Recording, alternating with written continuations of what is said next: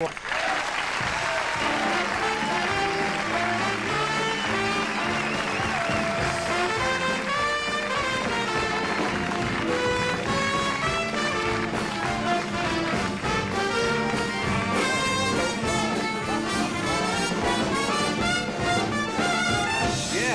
Is that Moscow Nights? Moscow Nights, that's right. Very That's what Van Cliburn played for the Gorbachevs at the, at the White House. Yeah. It was recorded uh, in Soviet Union by Peter, Paul, and Olga. That was their big hit, huh? That was a bullet on the chart, or whatever they call it. You're now an official member of the Mighty Carson Art Players. I thank well, you. thank for, you. Well, Thank you, you. you, I think you originally suggested this idea, Yes, the sketch for yes. us. You wrote a letter and said, hey, I think it would be funny to do that, and nobody's ever done it, so. Well- and you speak Russian I do, absolutely. fluently. Yeah, well, I was Did you catch any? Did you catch any of the stuff at all on the side when they were talking, or the interpreter, or could you, or could you hear any of that when he was actually here? Uh, they weren't uh, saying anything that uh, public should know. You know, Yeah. basically they were pretty good in transfer- translating. I was waiting for something. Yeah. It gives good material for Yeah. us. You know. What did you think about the summit generally? Uh, I thought it was very interesting. First of all, Gorbachev did not want to come to America, but Raisa Gorbachev wanted to see top Russian ballet dancers.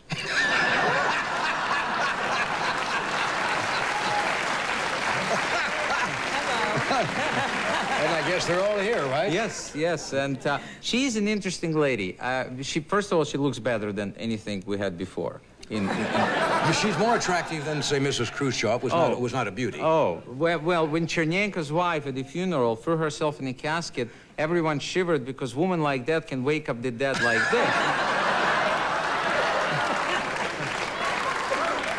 the, the whole country went, whoa. Oh, wait a minute. Wow. Scary stuff.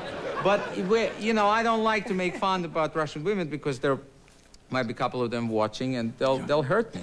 And, uh, You know, I did a joke one night on the show, and I didn't mean it to really uh, in a pejorative sense. And I heard from uh, somebody from the uh, Russian mission or something, you know, and they're very sensitive. oh, yeah. What would happen to you if you did those kind of jokes from the Soviet Union? In the Soviet Union? Yeah. Uh, I could do it once. And, uh, yeah, we had, we had an expression in Russia, women are like buses. And that was it.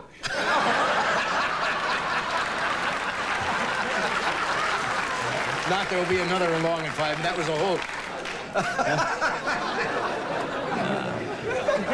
but he, he's, he made a big impression over here, didn't he? He seems to be charming.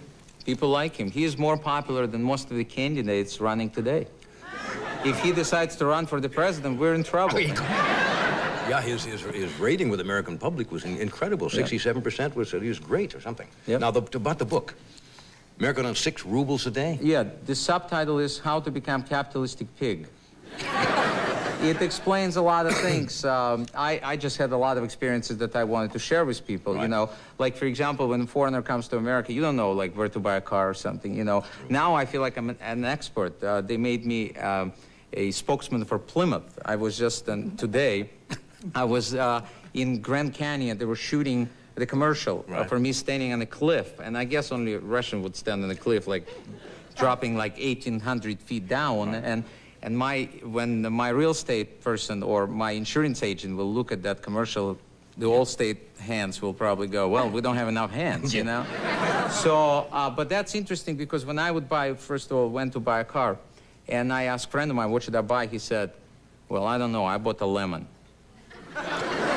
So I went to a dealer and I said, I, I, I'd like a lemon. Like a lemon. And, and he shows me Pinto. and, and I, and I said, no, no, I, I want a lemon. He said, trust me. Trust me. And what's interesting for the book, you know, I was collecting those expressions that that basically mess me up the most. Like, for example, when you hear from somebody and they tell you it's raining cats and dogs.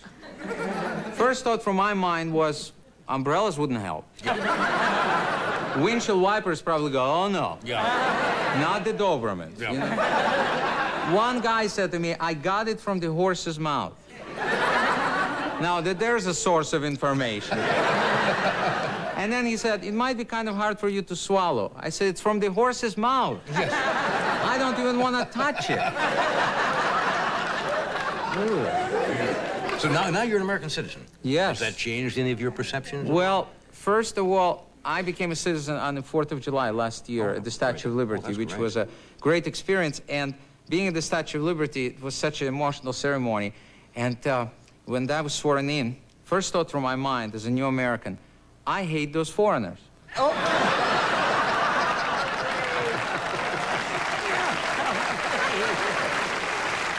All of a sudden. And now you are Well, yeah, they come here and take our jobs.